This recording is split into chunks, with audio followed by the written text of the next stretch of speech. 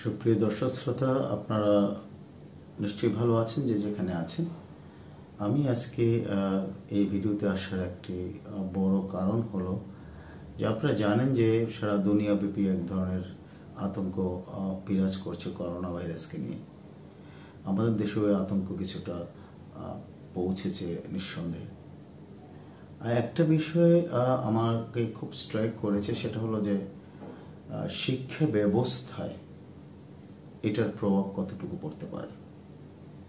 আমাদের মধ্যে একটা কাইন্ড অফ স্টেরিওটাইপ যেহেতু আছে ট্রেডিশনালি আমরা বিশ্বাস করি যে আমাদের ক্লাসরুম ছাড়া শিক্ষা সম্ভব নয়।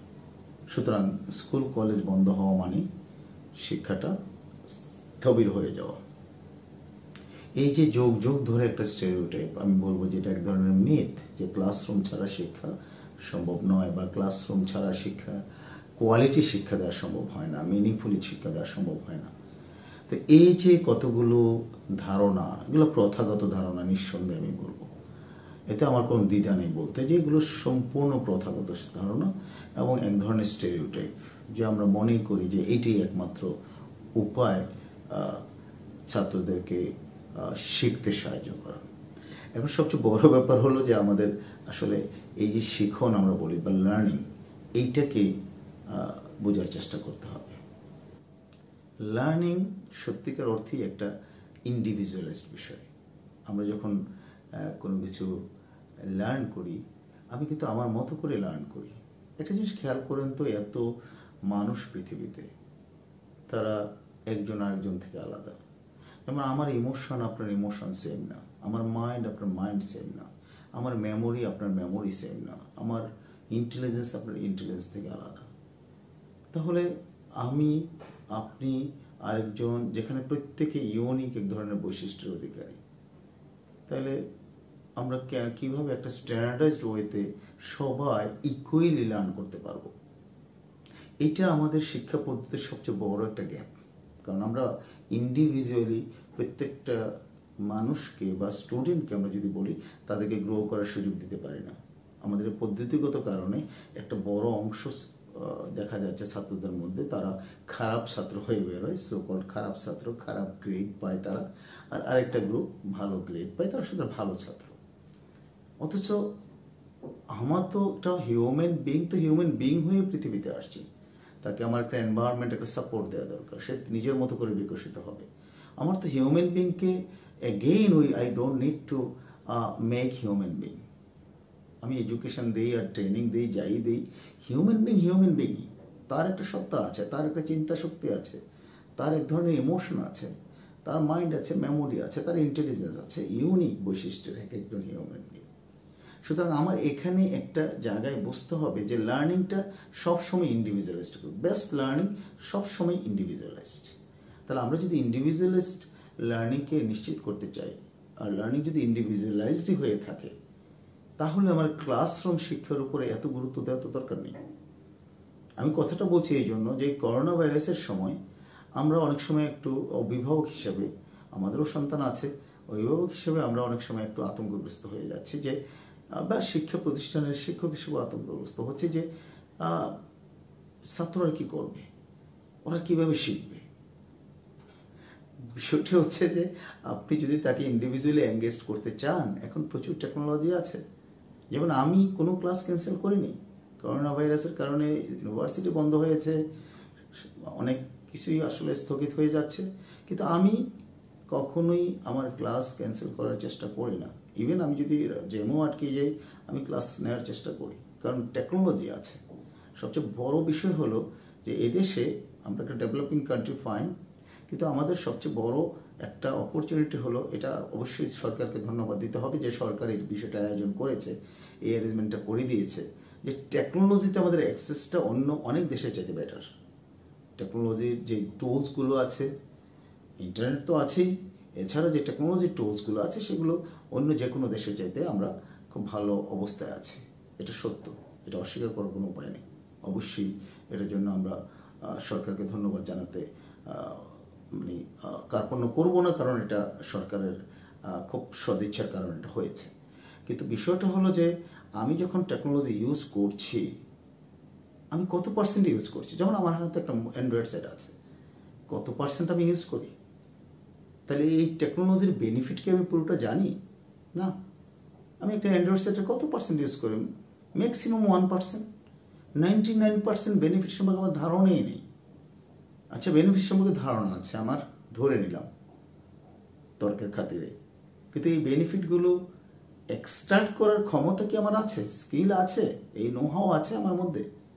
সেটাও নেই। আমি এক্সট্রাক্ট করতে জানি না। আমার পুকুরে মাছ আছে, আমি জানি। কিন্তু মাছটা তো এক্সট্রাক্ট করতে হবে। সেটা আমি জানি না। সেই টুলগুলোর সাথে আমার পরিচয় নেই। ফাইন ধরে নিলাম আবার যে এক্সট্রাক্ট করতে আমি জানি। আমি কি প্রসেস করতে জানি? প্রসেস করতে যদি না পারি আমি প্রপারলি তাহলে আমি কীভাবে আমার বা আমার সোসাইটির কাজে এই টেকনোলজিকে লাগাবো? এইটাই হচ্ছে সবচেয়ে বড় সমস্যা। আমরা টেকনোলজির এই যে শক্তিটা আমরা বোঝার চেষ্টা করতে পারি না। আমরা যার কারণে ওই ক্লাসরুমের মধ্যেই সব কিছু চিন্তা করি। টেকনোলজির পাওয়ার যদি বুঝি টেকনোলজির বেনিফিটগুলো যদি বোঝার চেষ্টা করি, তাহলে তো আমার শিক্ষা নিয়ে এত চিন্তা করার দরকার নেই। আমি লার্নারকে বাসায় রেখে তার নিজের বাসায় থেকে করোনা ভাইরাসের সবচেয়ে বড় একটা প্রিকশন হলো নিজের বাসায় থাকা। তাহলে বাচ্চাটাকে বাসায় রেখে বা ওই স্টুডেন্টকে বাসায় রেখে কিন্তু আমি তার সাথে কমিউনিকেট করতে পারি। ক্লাসটাও নিয়ে নিতে পারি। আজকেও আমি সন্ধ্যার সময় একটা ক্লাস নিয়েছি। আমি ক্লাস নিয়েছি স্কাইপি ইউজ করে। আমি স্ক্রিন শেয়ার করেছি বোর্ডে যেভাবে লিখি, তাও লেখা যায়, এখানে সব কিছু করা যায়। আমার পেন আছে। আমি এগুলো ইউজ করি। করে আমি আমি ক্লাস নিয়ে নিয়েছি। প্রায় সময় আমি এটা করি। যখন আমি বাইরেও থাকি, অনেক সময় দেশের বাইরে, আমি সেম কাজটা করি। এখন বিষয়টা হলো যে, আমি টেকনোলজিটাকে ইউজ করে, আমি স্টুডেন্টের সাথে যেমন কানেক্ট করতে পারছি, আমি ক্লাসরুমের টোটাল এনভায়রনমেন্টটা ওখানে ক্রিয়েট করতে পারছি। থার্ড আমি টেকনোলজির মাধ্যমে একটা প্ল্যাটফর্মে এনে তাদেরকে এঙ্গেজও করতে পারছি। তো এতে করে দেখা যাচ্ছে যে, তারা অনেক বেশি লার্ন করে ক্লাসরুমে বসে থেকে যেটুকু লার্ন করে, এর চেয়ে অনেক বেশি লার্ন করে। কারণ লার্নিং সবসময় একটা ইন্ডিভিজুয়ালাইজ ব্যাপার, আমি প্রথমেই বলেছি। আমরা যখন লার্ন করি দ্যাট মিনস আমার মধ্যে আমি শুধু মেমোরাইজ করি না। লার্নিং প্রক্রিয়াটা কি? আমি কোনো কিছু চিন্তা করতে পারি আমার মতো করে। এই যে থট প্রসেসটা ডেভেলপ করা, আমি যে হোয়াই কোশ্চেন করতে পারা, সেটা খুব ইম্পর্ট্যান্ট তো দেখেন তো হোয়াই কোশ্চেন কীভাবে আসবে? যদি আমি নিজের চিন্তা না করতে পারি, আমার থট প্রসেস যদি ডেভেলপ না করে, আমি যদি সবসময় খালি মুখস্থ করি মুখস্থ করি সব কিছুই মুখস্থ করি, এই যে মেমোরাইজেশন বেসড এক ধরনের লার্নিং প্রসেস সেটা অবশ্যই ক্লাসরুমে এই জিনিসটা বেশি ঘটে। কিন্তু এই থট প্রসেস ডেভেলপমেন্ট করা, সে যে নিজে নিজে নিজে চিন্তা করা, কোনো একটা প্রজেক্ট নিয়ে কাজ করা, কোনো একটা রিয়েল লাইফ প্রবলেম নিয়ে চিন্তা করা, একটা সলিউশন খোঁজা, এই বিষয়গুলো তো আসলে ক্লাসরুমে পুরো এনভায়রনমেন্ট ক্রিয়েট করা যায় না। আরেকটা জিনিস আমি বলব লার্নিং অবশ্যই আপনার কনটেক্স থেকে ঘটে। তাহলে আপনি যদি কোন রিসোর্স ব্যবহার করবেন, আপনি দেখেন আপনি যে বইটা টেক্সট বইটা ব্যবহার করছেন এইটাও দেখা যাচ্ছে কাইন্ড অফ অ্যাবস্ট্রাক্ট খালি মুখস্থ করার জন্য এটা তৈরি করা ডিজাইন করা, মুখস্থ করার জন্য। এটার মধ্যে কয়টা লোকাল কেস আছে? কয়টা ক্ষেত্রে ছাত্রকে তার ওই গ্রামের একটা ছাত্র তার ওই গ্রামের, ওই লোকালিটির ওই কমিউনিটির একটা প্রবলেম নিয়ে চিন্তা করার সুযোগ পায়। আমরা সেটা করি না। আমরা শহর কেন্দ্রিক কিছু কোশ্চেন তৈরি করে ছেড়ে দিচ্ছি এবং এটা বইয়ের মধ্যে লিপিবদ্ধ হচ্ছে। ছাত্রকে আমি একটা বইয়ের মধ্যে কনফাইন করে রাখছি। যেখানে সে সার্চ দিলে সারা দুনিয়ার রিসোর্সের মধ্যে ঢুকে যেতে পারছে। তাকে একটা টেক্সট বইয়ের মধ্যে আমি কনফাইন করে দিচ্ছি। ফাইন আমরা টেক্সট বই তাকে দিতে পারি, সেটা ঠিক আছে। কিন্তু এই যে ডিজিটাল যুগের যে সুবিধাটা, সে যে এই গানের সমুদ্রের মধ্যে ঢুকে যেতে পারে, সেখান থেকে সে পিক করতে পারে, এটা তো ইম্পর্টেন্ট তার জন্য। How to search this knowledge resources that is very important if you can search if you can find out the knowledge resources from anywhere that's fine তাহলে সেটা তো মেমোরিতে রাখতে হবে কেন? সেটা মুখস্থ করার দরকার নেই। সে যদি টেকনিকটা জানে, তাহলে fine then he she she think more and more dig deeper into the concepts. তারা হোয়াই কোশ্চেনগুলোর উত্তর খোঁজার চেষ্টা করবে। তাহলে সুতরাং কোনো একটা প্রবলেম সে যদি আইডেন্টিফাই করতে চায় এটার সলিউশন যদি সে ফর্মুলেট করতে চায় বা বের করতে চায়, তাকে অবশ্যই রিসোর্সের মধ্যে ফেলে দিতে হবে। একটা ফিক্সড রিসোর্স দিয়ে তা থেকে যদি আমি আশা করি যে তার থট প্রসেস অনেক ডেভেলপ করবে, সেটা বোধহয় ঘটবে না। তা আমি যে বিষয়টা বলতে চাচ্ছি, এই করোনার ভাইরাসের সময়ে, এই কনটেক্সটে আমরা কিন্তু আতঙ্কিত হওয়ার কিছুই নেই, কারণ শিক্ষা ব্যবস্থা, আমাদের যে প্রথাগত যে ধারণা, এটা আসলে শিক্ষা দানের ক্ষেত্রে বা শিক্ষা গ্রহণের ক্ষেত্রে এটা কোনো বড় ধরনের মিনিংফুল ইম্প্যাক্ট নিয়ে আসতে পারে না। আপনি যদি চিন্তা করেন, এই টোয়েন্টি ফার্স্ট সেঞ্চুরি আপনি যদি চিন্তা করেন third decade of twenty first century যেটা দুইটা ফোর্স দ্বারা চালিত হবে। একটা হলো ফোর্থ ইন্ডাস্ট্রিয়াল রেভলিউশন আর একটা হলো ফোর্থ এডুকেশন রেভলিউশন তাহলে আমরা কি ফোর্থ এডুকেশন রেভলিউশনের জন্য প্রস্তুত? এই জন্যই আমি বলছি যে এখানে ওপেন এডুকেশনের একটা বড় রোল এখানে চলে আসছে অটোমেটিক্যালি আমি কতগুলো লোককে শিক্ষা দিতে পারছি এই ক্লাসরুমের মাধ্যমে? এবং কি শিক্ষা বা তারা পাচ্ছে? তারা কি টোয়েন্টি ফার্স্ট সেঞ্চুরির এই যে third decade of twenty first century আমি বলছি, এই সময়টার জন্য প্রস্তুত হচ্ছে ফোর্থ ইন্ডাস্ট্রিয়াল রেগুলেশনে যে ধরনের দক্ষতা দরকার স্কিল দরকার, যে ধরনের কোলাবোরেটিভ স্কিল কমিউনিকেশনের স্কিল কমপ্লেক্স প্রবলেম সলভিংয়ের স্কিল এই এই জিনিসগুলো কি আমরা ক্লাসরুম থেকে দিতে পারছি তেমন একটা? কারণ আমি পারব না, যতই চেষ্টা করে আমি পারব না, কারণ আমি বারবার বলছি লার্নিং ইন্ডিভিজুয়ালাইজড ওই লার্নারকে নিজে কীভাবে শিখতে হয়, সেটা তারা জানতে হবে। তাকে সেলফ লার্নার হতে হবে। কারণ সোসাইটি এত দ্রুত চেঞ্জ হচ্ছে, একটা মুখস্থ করিয়ে দিলে এটা এটা দুই দিন পরে তার থাকছে না।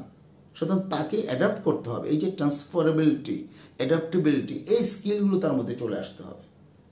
এই জন্য আমি বলছি যে এই যে আমরা আমরা যে শিক্ষা ব্যবস্থার ক্ষেত্রে আমরা যে ক্লাসরুম ভিত্তিক শিক্ষার কথা বলছি, এর বাইরে আমাদের ছাত্রদেরকে নিয়ে আসতে হবে এবং সকল জনগণের কাছে শিক্ষাকে পৌঁছে দিতে হবে।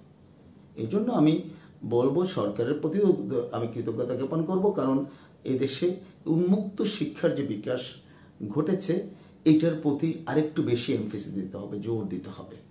কারণ উন্মুক্ত শিক্ষা মানুষকে এই যে সেলফ লার্নিংয়ের একটা হ্যাবিট তৈরি করে ফেলে, এবং যেটা টোয়েন্টি ফার্স্ট সেঞ্চুরিতে অত্যন্ত জরুরি। কারণ যে স্কিলে আমার থাকুক না কেন, এটা দিয়ে আমি বেশি দূর যেতে পারব না।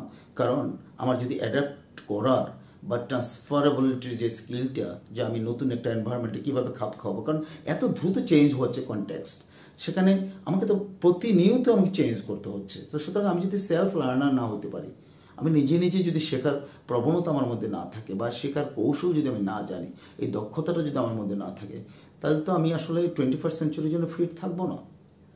সুতরাং এই যে কন্টিনিউয়াস ইম্প্রুভমেন্টের যে প্রসেস এই প্রসেসে আমার যেতে গেলে আসলে আমাকে নিজে নিজে শেখার একটা প্রবণতা থাকতে হবে। এবং এইটা আসলে টেকনোলজির মাধ্যমে সম্ভব সব কিছুই এখন আছে। এটা বিরাট একটা ব্লেসিং আমাদের জন্য। আমাদেরকে বুঝতে হবে টেকনোলজির মধ্যে কি সুবিধাগুলো আছে। আমাদেরকে বুঝতে হবে কীভাবে এগুলোকে আমি এক্সট্রাক্ট করব। আমাদেরকে বুঝতে হবে এক্সট্রাক্ট করার পর এগুলোকে প্রসেস করব কি করে। এবং ফাইনালি আমাকে বুঝতে হবে যে এগুলো আমার এবং সোসাইটির বেনিফিট কীভাবে কাজে লাগাবো। এই জন্য আমি সবাই প্রতি একটা আহ্বান জানাব, আসুন আমরা টেকনোলজির সর্বোচ্চ ব্যবহার করে শিক্ষাকে মানুষের কাছে দাঁড় গড়ে পৌঁছে দিই। উন্মুক্ত শিক্ষার বিকাশটাকে আরও একটু সবাই সম্মিলিতভাবে এগিয়ে নিয়ে যাই এবং মূলত যে সঠিক অর্থে যে লার্নিং এই বিষয়টার উপর গুরুত্ব দিই। আর এই বিষয়টার উপর গুরুত্ব দিলে আমি ইন্ডিভিজুয়ালাইজড এক ধরনের লার্নিং প্রসেসের উপরে আমার আস্থা বাড়াতে হবে, আমার ওই দিকে ধাবিত হতে হবে, আমার পুরো ডিজাইনগুলো যাতে একটা ব্যক্তি লার্নার বিকশিত হতে পারে তার মতো করে। এই বিষয়টার উপরে আমাদের জোর দিতে হবে। এটার জন্য আমরা কিন্তু টেকনোলজিক্যালি রেডি কারণ এই ডিজিটাল বাংলাদেশের যে কনসেপ্ট সেটা কিন্তু এটাই আমরা অলরেডি টেকনোলজির দিক রেডি আমরা চলুন সবাই মিলে এই টেকনোলজি ব্যবহার করি। আজকে যে ছেলেরা বাসায় বসে আছে, তাদেরকে বসিয়ে না রেখে তাদের সাথে আমরা কানেক্ট করি। অনেক রকম প্ল্যাটফর্ম আছে। গুগল ক্লাসরুম আছে স্কুলজি আছে মুডুল আছে, বিভিন্ন রকমের প্ল্যাটফর্ম আছে। তাদের মাধ্যমে তাদের সাথে আমরা কানেক্ট করি। আমরা ওইখানেও ভিডিও কনফারেন্সিং করতে পারি বা আমরা স্কাইপি ইউজ করেও স্টুডেন্টদের সাথে ভিডিও কনফারেন্সিং করতে পারি। যেমন আমি আজকে করলাম, চমৎকার স্টুডেন্টরা বিভিন্ন জায়গায় তাদের বাসায় বসে আছে, তারা ইভেন রাস্তায়ও আছে অনেক স্টুডেন্ট তারা কিন্তু পার্টিসিপেট করেছে। সুতরাং এতে কোনো সমস্যা হয় না। আপনি ইজিলি তাদেরকে রিচ করতে পারবেন। সুতরাং আমার একটা রিকোয়েস্ট থাকব যে কোনো স্টুডেন্ট যাতে তারা লার্নিংয়ের বাইরে না চলে যায়। তারা বাসায় থাকবে, কিন্তু তারা লার্ন করবে। সুতরাং আমাদের তো প্রবলেম আসতেই পারে। এটা একটা প্রবলেম এরকম অনেক প্রবলেম হয়তো সামনে আসবে, পিছনে ছিল। আমরা তো we cannot be defined by this problems and that is why we are growing কারণ আমরা কখনোই, আমরা স্বাধীনতা যুদ্ধ বলেন বা সব কিছু আমরা কখনো এই চ্যালেঞ্জগুলো আমরা মোকাবেলা করি কিন্তু এই জায়গায় এসেছি। সুতরাং লার্নিংয়ের ক্ষেত্রেও আমাদেরকে এই করোনা ভাইরাসের কারণে যাতে আমরা পিছিয়ে না পড়ে আমাদের ছাত্ররা। সব শিক্ষক বা আমরা যারা অভিভাবক আছি, তারা যেন টেকনোলজির সুবিধাগুলো ব্যবহার করে আমরা স্টুডেন্টদেরকে আমাদের সন্তানদেরকে লার্নিংয়ের মধ্যে রাখতে পারি। এই একটা অনুরোধ সবার কাছে রইল। আমি জানি না, আমি হয়তো কাউকে হার্ট করার জন্য কথাটা বলি নেই বা আমি কোনো আমার পাণ্ডিত্য শো করার জন্য বলিনি আমার কাছে মনে হয়েছে যে আমরা যদি টেকনোলজির সর্বত্র ব্যবহার করতে পারি, তাহলে আমার এই লার্নিংয়ের যে এনভায়রনমেন্টটা এই যে লার্নিংয়ের যে আপনার এক ধরনের টোটাল ইকোসিস্টেমটা কিন্তু অন্যরকম হয়ে যেতে পারে। আমরা টোয়েন্টি ফার্স্ট সেঞ্চুরির জন্য যদি আমরা তৈরি হতে চাই, তাহলে কিন্তু আমাদেরকে টেকনোলজির ব্যবহারটা এডুকেশনের সবচেয়ে বেশি করতে হবে। এটা খুব খুব জরুরি। আর আমাদের এই ধরনের চ্যালেঞ্জগুলোর সময় আমাদেরকে চিন্তা করতে হবে না যে আমার এই ছেলের ভবিষ্যৎটা কি হবে, এই ছেলেটা যদি এতদিন ধরে স্কুল বন্ধ থাকে, আমরা সাফার করব কিনা ইত্যাদি ইত্যাদি। সুতরাং টেকনোলজি যদি আমরা সর্বোত্তমভাবে ইউজ করি সর্বক্ষেত্রে, তাহলে কিন্তু আমাদের এই চ্যালেঞ্জগুলো আর থাকবে না। আমরা এক ধরনের ইনক্লুসিভ লার্নিং এনভায়রনমেন্ট ক্রিয়েট করতে পারব।